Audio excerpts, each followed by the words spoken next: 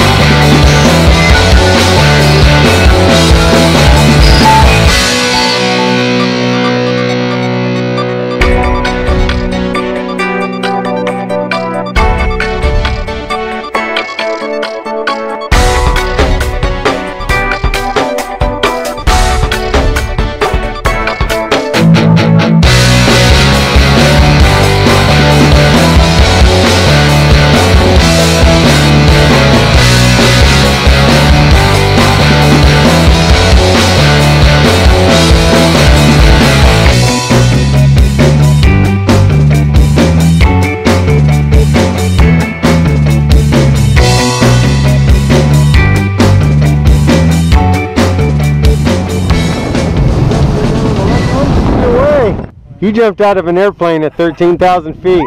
Like I said, I'm in it. If you could do that, you can definitely do anything. So you had anything to say? My fucking ears hurt. All right. Yeah, you say, you say, take Sudafed before you jump out of a plane.